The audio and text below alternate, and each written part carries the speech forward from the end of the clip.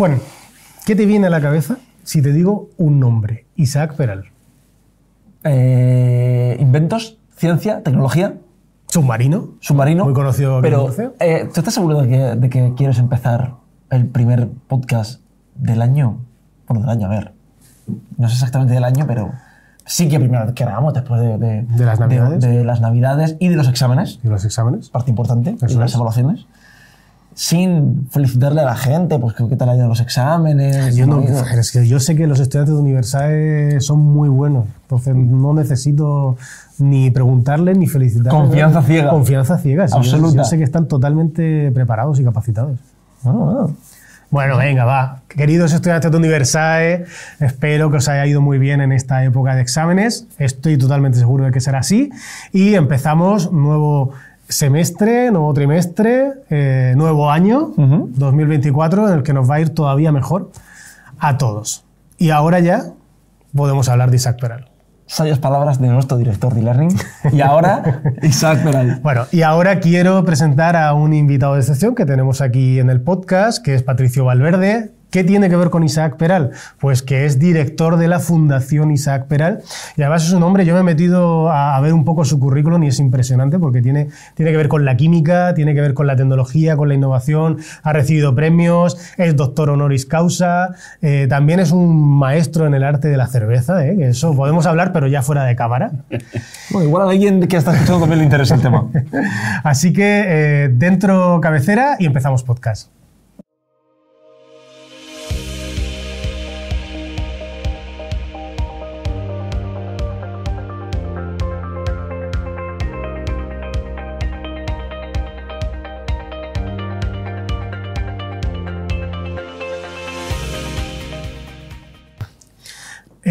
Antes que nada, Patricio, la fundación creo que es una alianza, una alianza público-privada eh, que al fin y al cabo lo que intenta es fomentar la innovación, la tecnología dentro de las empresas, tanto grandes como pequeñas y medianas, en la región de Murcia. Y quisiera preguntarte un poco, pues eso, ¿cuál es el origen de la fundación y por qué precisamente elegir el nombre de Isaac Peral? Bueno, pues la fundación nació en el 2017, a finales del año, con Juan Hernández en la consejería y Pedro Antonio en el gobierno. Y de las reuniones que teníamos los empresarios en el Info con, con la Dirección General de Industria y con la Consejería de Industria, pues aparecía la posibilidad de crear un- una alianza, un vínculo para que las grandes empresas pudieran asesorar al gobierno y decirle cuáles son las necesidades que tienen las empresas y cómo puede crecer el tejido industrial.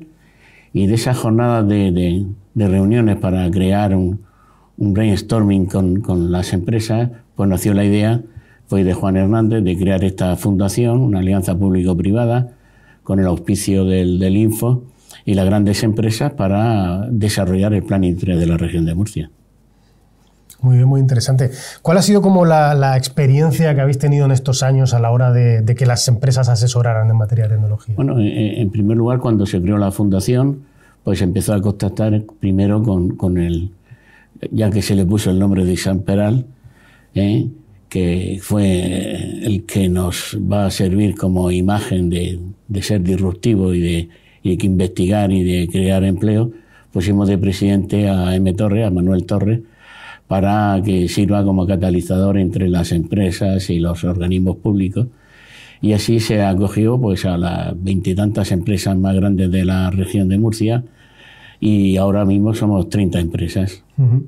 Claro, porque al final Isaac Peral es esa figura, ¿no? Que si alguien no la conoce, que, esté escuchando el podcast, que no creo, porque es una figura muy conocida y muy relevante en la región de Murcia, pero también a nivel nacional, ese, ese nombre que inventó, si mal no me equivoco, el submarino, y que de hecho hasta hace muy pocos años ese submarino estaba expuesto en medio de la calle en Así es, Cartagena, sí, ¿no? Ahora creo que está en un museo. Fue el inventor más relevante en el siglo XIX y en el siglo XX. Es un cartagenero y desarrolló el primer submarino eléctrico porque en vehículos eh, sumergibles pues sí se habían inventado pero tenía que tener una chimenea y entonces no se podían camuflar Claro. y el único que, que consiguió el primer desarrollo eléctrico con acumuladores, con baterías bajo el agua fue Isaac Peral, que, que sirva, el nombre se le dio para que sirva como acicate para que se fomente la investigación y el desarrollo tecnológico.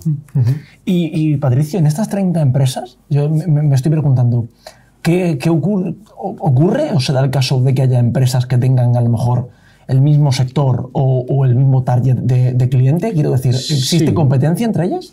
No, no, el target de las empresas normalmente son de sectores distintos, porque este, esta alianza o este lobby industrial para aumentar el PIB de la región de Murcia, hay tanto empresas agroalimentarias como de logística, como de producción de activos. Y la verdad que, que como el, vínculo es para crear más, hacer más región de Murcia, no hay competencia, no, no son temas de competencia entre empresas, no. Claro. Eh, Patricio, desde el año pasado eh, la Fundación está precisamente implementando unos premios, son los premios FIP, Fundación Isaac Peral, precisamente como para otorgar reconocimiento a empresas o incluso a investigadores que, generan innovación, que generan conocimiento dentro de la región de Murcia. ¿Qué historias podrías compartir con nosotros de los premiados del año pasado que, pueden ser relevantes? Pues eh, fue una gran experiencia, fue el primer año donde se hacen premios al investigador, a la empresa de desarrollo tecnológico de I+.D., y lo que se busca es eh, intentar eh, que sea un acicate para que captar talento, para captar empresas, para que eh, vengan empresas de, fuera de Murcia. Lo que buscamos es un entorno que sea capaz de incrementar el PIB de la industria, sea un entorno para que Murcia sea más industrial. Y los premios sirven como ejemplo para promover ese espíritu emprendedor y la colaboración en público-privada. Y sobre todo queremos ser catalizador entre la administración, las universidades, lo que es la formación y la empresa. Creo que Murcia tiene la posibilidad de, aunque es una comunidad uniprovincial, pero tenemos tres universidades, entonces hay mucho talento y lo que buscamos es captar talento para estas empresas, buscamos relaciones con las universidades, con los alumnos y con las empresas para que haya un entorno de, crecimiento de, industria y de actividad y de empleo. Eso es. Más que hay algo que yo eh, pongo de manifiesto respecto a los premios, es que hay un premio a la investigación, ¿no? Así es. Al, autor o al, al, investigador. Al investigador, ¿no? Que, y es súper importante porque muchas veces hablamos de innovación y de tecnología, pero para que exista la innovación primero tiene que haber investigación. Exacto. Y es súper importante. ¿eh? Una de las planes de actuación de la Fundación se llama Open Innovation, innovación abierta, que es eh, crear un reto crear un think tank entre los técnicos o investigadores de universidades y de las empresas y alumnos e intentar eh, crear una startup, crear un, en, definitiva, crear empleo y crear actividad industrial. Y la innovación abierta sirve eh, como, como acicate para que empecemos a, crear ese, ese proyecto de, de investigación en la región de Murcia. Y dicho esto, estamos en uno de los objetivos creando la formación dual universitaria. Aquí sois un gran ejemplo de formación eh, profesional, pero queremos alcanzar el nivel de la formación profesional, pero a nivel universitario. Intentamos que con las tres universidades y las empresas crear proyectos pilotos para que nazca esa, esa idea de la formación universitaria. Es que es, algo muy, muy relevante, ¿no? O sea, al final, si no existe esa sinergia entre el mundo privado de la empresa y el mundo educativo, es difícil desarrollar competencias que realmente supongan una empleabilidad futura para el estudiante. Tiene que existir esa, esa relación. Estoy convencido de que todo evoluciona y la educación también. Prueba de ello siempre sois vosotros, porque para mí sois un ejemplo. Se necesita adaptar los planes de estudios, se necesita adaptar la formación de los alumnos a las nuevas necesidades de la empresa. Ahora la empresa pues, necesita inteligencia artificial, necesita métodos Lean de, aprendizaje, en una palabra, tiene que mejorar su, productividad o mejorar su oferta en, la sociedad y, la clave está en tener una buena base, una buena formación. Y creo que, que, la Fundación intenta crear ese vínculo entre, como he dicho, entre el gobierno, que tiene que hacer los planes industriales, entre las universidades que está el conocimiento y nosotros hacer de, catalizador para que eh, no se fugue el talento. Murcia tiene muy buena gente, tiene mucho talento eh, y, y, estamos viendo que la mayoría que quiere progresar después de hacer su formación sale fuera. ¿eh? Y luego tenemos que captarlos cuando ya son grandes talentos. Creo que tenemos que buscar la manera de que el talento no salga, sino que se quede en Murcia y hacerla más grande. Totalmente de acuerdo. Eh, desde que, hemos empezado a hablar, llevo con, una pregunta en, la cabeza, que es, eh, vamos a suponer que yo quisiese ganar los premios FIP en algún momento, ¿Cuál sería el recorrido? ¿Cuál sería el paso? Cualquiera que nos esté escuchando y que tenga una idea o, qué simplemente. Pues mira, cuando se convocan los premios, se convocan las modalidades y entonces se crea un comité o se crea un evaluador de, de los proyectos, te presentas con tus eh, especificaciones de qué es lo que has hecho y optas a, los premios que, que tienen que evaluarse con gente con cualificación suficiente. Tiene que ser pues un acicate para que te te mejores a ti mismo. Yo creo que es una manera de lo que no se comunica, no se conoce, aunque exista. Hay que comunicar los grandes investigadores que hay en la región. Hace poco salió en La Verdad los 10 investigadores más importantes de Murcia y son más conocidos fuera hmm. de Murcia que aquí. Lo que intentamos es comunicar, dar a conocer el talento que hay, tanto de investigadores como de empresas, empresas eh, disruptivas, empresas que han creado nuevas tecnologías y, hay centros de, incubadoras de empresas en Murcia que están creando talento y queremos que eso repercuta en, la región para aumentar el PIB industrial. ¿Esas modalidades de las que hablas em, ¿se, mantienen año tras año o cada año eh, van cambiando? No, se mantienen. Eh, somos, eh, el primer año fue el año pasado, en primavera, este año será el 17 de octubre y es el, segundo año que se hace y, y este año pues intentamos incrementar eh, las nuevas tecnologías en la fundación para que eh, ayudar, ayudar a, crear talento. ¿Se pueden presentar en pareja? Lo digo porque igual Darío y yo nos, nos a octubre yo creo que llegamos, ¿no? Sí, yo creo que podemos presentar el podcast. Pues sí, pues proyecto de innovación. sí, sí. Eh, hay, hay, que introducir las nuevas tecnologías, el machine learning, en, la inteligencia artificial.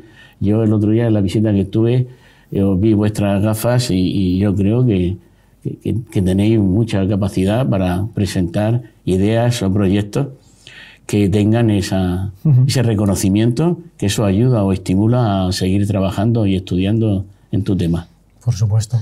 Patricio, ¿cuáles crees que son los mayores desafíos a los que se enfrentan hoy en día las empresas a la hora de impulsar la innovación y la tecnología? los, eh, los retos más importantes que se presentan, pues para mí es la adaptación al crecimiento de la necesidad de la sociedad. La sociedad va más deprisa, la, la juventud va creando unas nuevas necesidades. Ahora veis que todo tiene que ser ecológico, todo tiene que ser eh, sostenible y tienen que estar eh, creando un concepto no solo de un beneficio económico, sino de un beneficio social. ¿eh? Ahora lo que se está buscando es que las empresas inviertan más en sostenibilidad y en reconocimiento de marca. Creo que la sociedad va, va buscando el camino de, como sabéis que ahora se ha celebrado el COP28 eh, y, el cambio climático es una amenaza para todos, no solo para los miembros de la sociedad, sino para las empresas que tienen que buscar la manera de, de, ser más sostenibles. Más sostenibles. Además que en términos tecnológicos la cosa crece en términos cuantitativos, vamos, cada, cada año tenemos un crecimiento exponencial de la eh, tecnología. Eh, pero es exponencial todo, la, la, vida va muy deprisa y entonces tenemos que subirnos al carro y si no te queda obsoleto, tienes que eh, empezar ya, dicen, bueno, en la pequeña tienda, pues te tienes que meter en el e-commerce, tienes que... Es una formación continua. Una formación continua.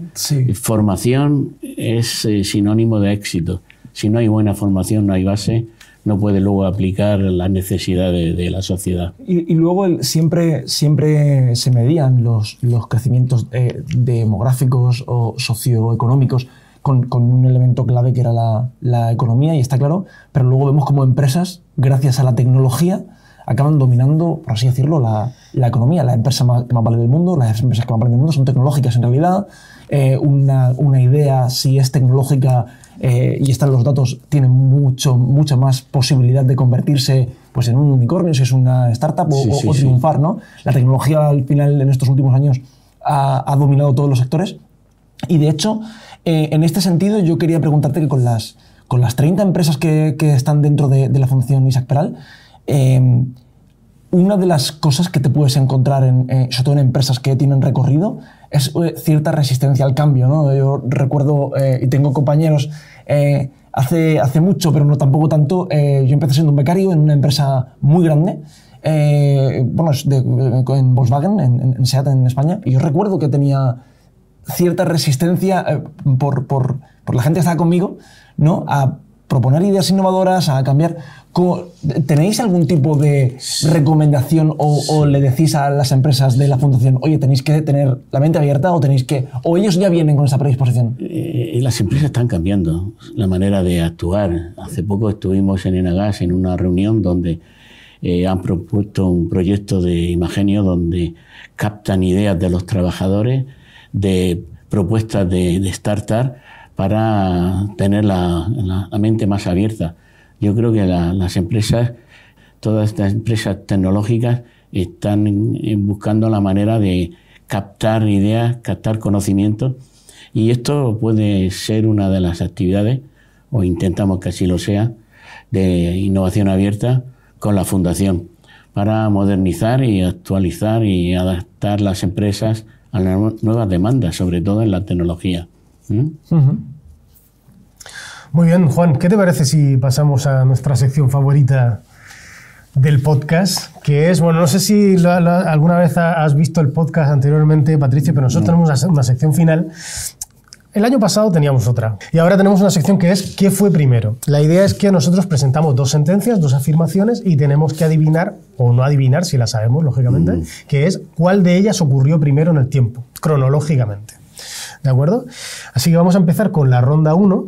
Jugamos Juan y yo. Sí. Patricio, tú tienes que leernos las dos frases que tienes eh, aquí a la vuelta, en la ronda 1. Nos tienes que le- leer esas dos frases y nosotros vamos a adivinar qué ocurrió primero. Adivina el orden. La, la- la- la fundación, ¿no? La, funda- creación de la La fundación. creación de la fundación como una alianza de empresas Sí. O la vida que reflejaba, que se refleja en una población, una publicación que hay de, de, los de- cómics. de cómic. O sea, un cómic de la vida de Isaac Peral es. o la creación de la fundación. Tú eres ¿Qué fue muy de cómics. Eh, eh, revisa en tu biblioteca. ¿Tiene- ¿Te suena alguno de Isaac Peral? A ver, mm, yo sé que el- la explosión del cómic en España fue en los años 50 y 60, que estaba la editorial Bruguera, sacaron Mortadelo, y había alguna colección de estas de vidas ejemplares. Sí, sí, vemos que era como. Claro, que era como de, yo qué sé, pues Santo Tomás, la vida de Santo Tomás, la vida de inventores, de Picasso. de- Entonces puede ser que el cómic fuera en los años 60. En la fundación sí. también es cierto que tiene muy poquito recorrido, en el sentido de que se creó en el 2017. Entonces, yo creo que podría ser más que existiera un cómic de Isaac Peral Te la he dejado votando para que dijesen Mortadelo, ¿eh? Sí, sí, sí. sí. Se ha notado, se ha notado. Sí, sí, sí. Bueno, eh, la verdad es que Mortadelo, ¿quién no conoce Mortadelo? eh? Un cómic esencial para la historia de España. Recientemente falleció Ibáñez. Y ahora, ojo, eh, dato curioso, va a salir ahora el cómic que Ibáñez no terminó de Mortadelo. Lo van a- Ah, el, el- el último, imagino el que que el último, dejó ¿no? inconcluso, ahora va a salir publicado. Pero no nos vayamos por las ramas. Oye, ¿nos apostamos al, al cómic o qué? Quiero Yo- decir, son demasiados datos a favor del cómic y, y en contra de, de la, la primera Claro, yo diría que el cómic, si la fundación es del 2017 y el cómic mayoritariamente, pues como te digo, fue en los años 50-60 la explosión, Sí, sí, sí. mm, el cómic. Vale, El antes, cómic, antes el hubo un cómic. Que, ¿Cuál fue antes? Hombre, para mí yo creo que es la A, ¿eh? Se creó como una alianza de, de empresas industriales, empresas tecnológicas. O sea, la fundación primero y después se publicó el cómic. Eh, así es, así. El cómic fue hace un par de años. Hace un par de años. Los fans de Mortadelo me van a matar. Me van a matar. Pero bueno. Y ya se empezó por el- los 50, 60 de las... te has tirado 50, como bueno. un auténtico experto para fallar. ¿eh? El cómic es un medio muy vivo. ¿eh? De hecho, yo en, mi, en mi departamento tengo personas trabajando que son ilustradores de cómic.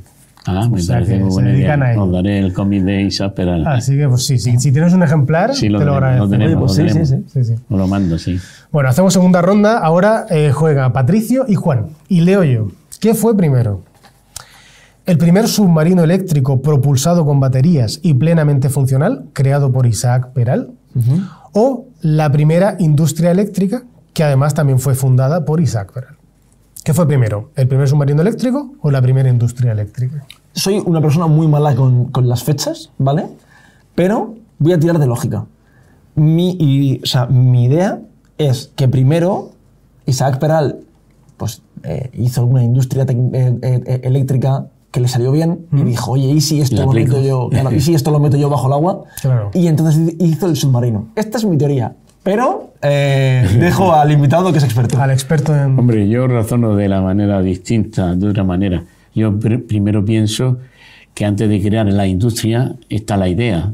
Entonces la idea está antes de, de la actividad. Entonces la idea fue, eh, la, es decir... El piloto, ¿no? El piloto con el proyecto- submarino. El proyecto piloto, escala piloto, Ah, vale. de esa industria de, de acumuladores eléctricos fue Isaac Peral. Fue primero la creación del submarino eléctrico antes que la industria. Nos quedamos entonces con la respuesta de Sí, sí, Patricio, hombre, claro, ¿no? como para llevar la contraria. Pues efectivamente, Patricio. Fue Gracias. antes el submarino y después la industria eléctrica. Bueno, eh, ronda 3, ahora de nuevo jugamos eh, Claro, Juan y para yo. mí, La creación del, S, del submarino S-81 Isaac Peral supuso un hito para el país, ya que fue diseño 100% español. Esa es la opción A. La opción B, el submarino Isaac Peral participó en un simulacro contra el acorazado Cristóbal Colón y obtuvo un rotundo éxito. ¿Cuál de las dos? eh, O sea, primero, o la, o la creación del S81, que era 100% español, ¿Eh? O que el simulacro, el simulacro de- submarino Isaac del submarino Peral S81. contra el acorazado Cristóbal Eso es. Isaac Peral contra Cristóbal Colón. ¿Quién gana en ese ¿Quién- duelo de titanes?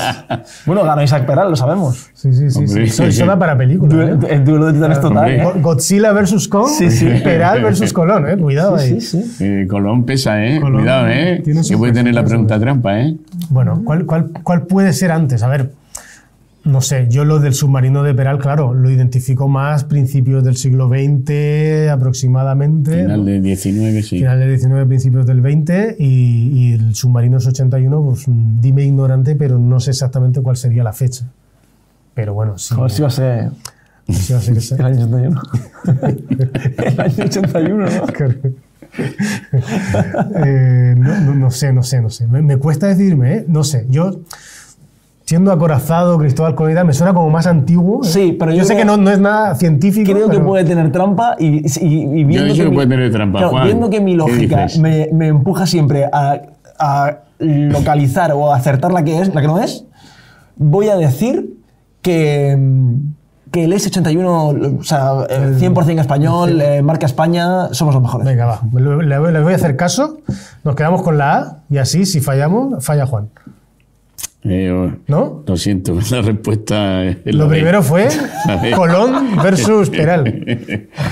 Maldición. Yo aposté todo a Isaac eh, Peral Pareda, como, como Rafa Nadal. Vaya por Dios. Y nada, nos despedimos hasta la próxima, hasta el próximo episodio del podcast de Universal.